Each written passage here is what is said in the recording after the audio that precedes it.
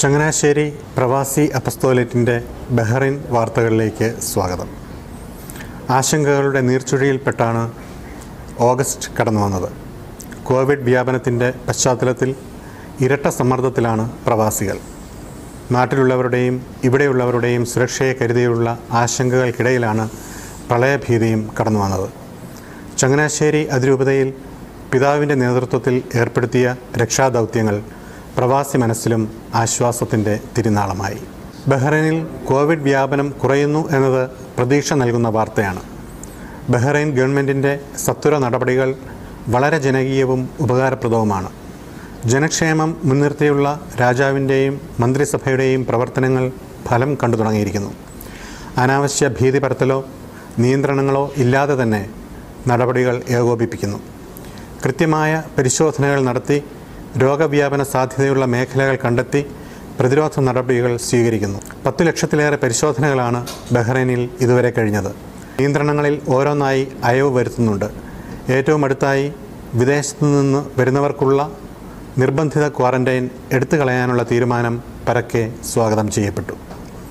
ജോലി നഷ്ടപ്പെടൽ വരുമാനത്തിലെ ഇടിവ് ജീവിത ചെലവിലെ വർധനവ് തുടങ്ങിയവ ബഹ്റൈനിലെ പ്രവാസികൾ അഭിമുഖീകരിക്കുന്ന വലിയ വെല്ലുവിളികളാണ്. ഈ സാഹചര്യങ്ങൾ കുറച്ചൊന്നുമല്ല പ്രവാസികളെ തളർത്തുന്നത്. തങ്ങൾ തിരിച്ചു പോകേണ്ടി വന്നാൽ ഏത് വിധമാണ് പുനരധിവസിക്കപ്പെടുക? അതിനായി ഗവൺമെന്റ് എന്തൊക്കെ നടപടികളായിരിക്കും സ്വീകരിക്കുക എന്നതൊക്കെയാണ് ഇപ്പോൾ പ്രവാസികളുടെ ചർച്ചാ വിഷയം. ബഹ്റൈൻ തിരുഹൃദയ ദേവാലയത്തിലെ തിരുക്കർമ്മങ്ങൾ ലൈവ് സ്ട്രീം ചെയ്യുന്നത് തുടരുന്നു. കുട്ടികൾക്കുള്ള വാർഷിക ധ്യാനം ഓഗസ്റ്റ് ഇരുപത്തിയെട്ട് ഇരുപത്തിയൊൻപത് മുപ്പത് തീയതികളിൽ ഓൺലൈനായി സൂം പ്ലാറ്റ്ഫോമിൽ നടത്തുന്നതാണെന്ന് ഫാദർ സജി തോമസ് അറിയിച്ചു. A F C M youth U S A ടീമിന്റെ നേതൃത്വത്തിലായിരിക്കും ധ്യാനം.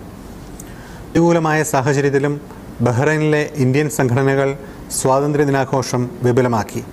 സീറോ ബലമാർ സഭാംഗങ്ങളുടെ സാംസ്കാരിക കൂട്ടായ്മയും ബഹ്റൈനിലെ മുൻനിര ജീവകാരുണ്യ സംഘടനയുമായ സീറോ മലബാർ സൊസൈറ്റി മാതാവിന്റെ സ്വർഗാരോപണ തിരുനാളും ഇന്ത്യയുടെ എഴുപത്തിനാലാം സ്വാതന്ത്ര്യ ദിനവും ദൃശ്യശ്രാവ്യ പരിപാടികളോടെ ആഘോഷിച്ചു.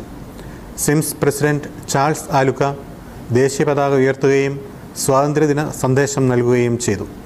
സീറോ മലബാർ സൊസൈറ്റി നിസ്വാർത്ഥമായ സേവനങ്ങളാണ് അവശത അനുഭവിക്കുന്ന പ്രവാസികൾക്ക് നൽകിപ്പോരുന്നതെന്ന് അദ്ദേഹം അനുസ്മരിച്ചു.